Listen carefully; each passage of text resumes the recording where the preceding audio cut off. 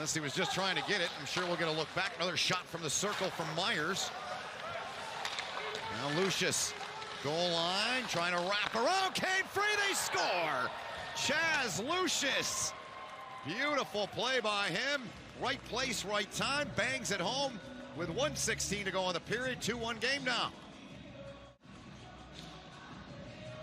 They get it down low, and Knies so good. First tried the wraparound, and it squeezed across the crease. And Chaz Lucius says, I'll take that. Yeah, he tried to go short side on the forehand wrap. And as it came across, Ahead for Meyers, just off the blade of his stick. He'll get in there, get that shoulder down.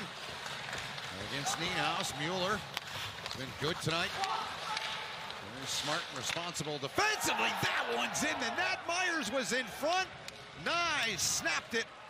And with less than two to go, watch Knies. Picks up the puck, finds some open space high, Yep. lets it go, and This shot from Tristan Broz there.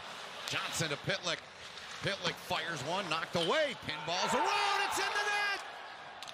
Minnesota gets one on a bounce and a deflection, and the Gophers with 119 to go. Serena off the backboards. I think the unfortunate bouncer to go off the skate of Hughlin maybe, but winds up going.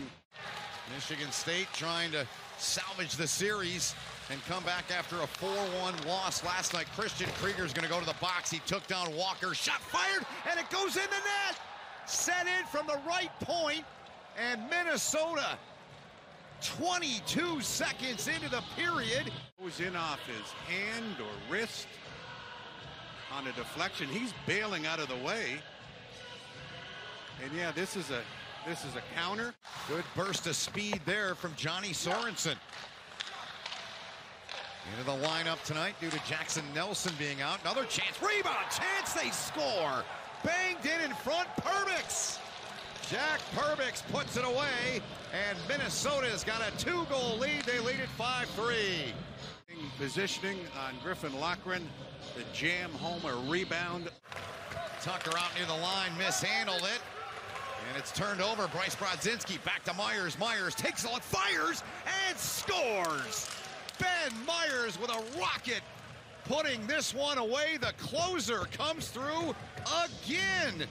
Weekend sweep as the Gophers take sole possession of first place in the Big Ten standings. That was a blur. Took a little time.